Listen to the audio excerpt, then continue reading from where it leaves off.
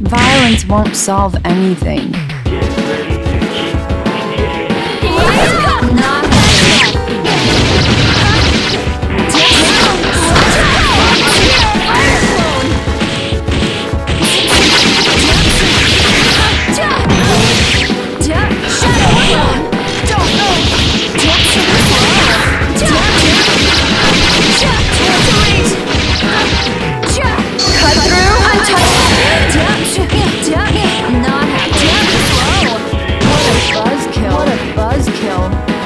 Let's take this one step at a time.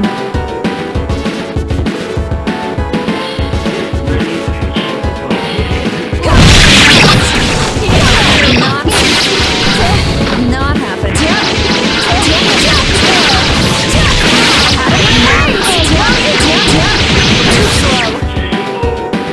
Easy. Buzzkill. Now, who's next?